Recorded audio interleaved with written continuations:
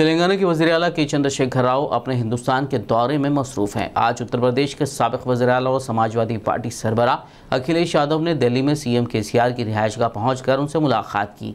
इस दौरान दोनों रहनुमाओं ने मुल्क के मौजूदा सियासी हालात, मुख्तलिफ़ अमूर पर तबादला ख्याल किया।